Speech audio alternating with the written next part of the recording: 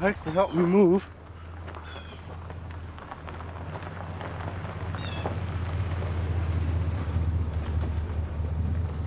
Okay, boys. Rule number one. There will be no living in vans in Sunnyvale Trailer Park. J-Roc, you better straighten Panama Jack the fuck out right now. Alright, here's what I'm talking about, you know what I'm saying? Bubbles is renting this here van for $12 a month, you know what I'm saying? That makes this motherfucker an income property, you know what I'm saying? Once me and T hook up the power and water, then it's gonna fall under the same juris fucking diction as every other trailer up in this, so why don't you and that 15 cheeseburger eating motherfucker Rico Suave looking go on, cause you ain't beating nobody. You know what I'm saying?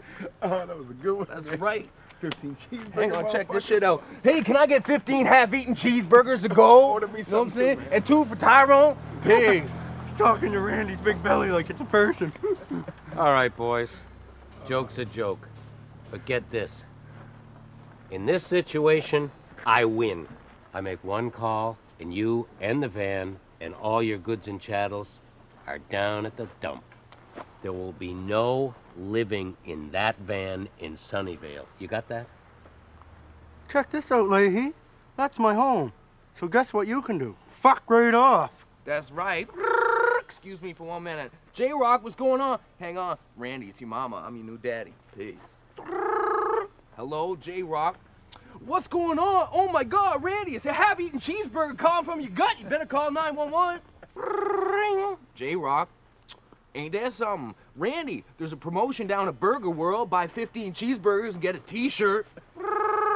J Roc, what's going on?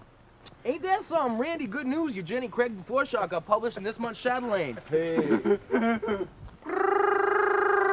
J Roc, what's going on? No, wasn't me. Hang on a second. One of you motherfuckers called, make an appointment for hair removal from your chest?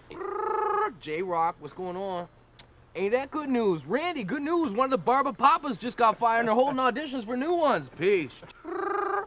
J Roc, ain't that something? Randy, is the fashion police. You'd be in charge $500 for wearing them pants after Labor Day. Slippers!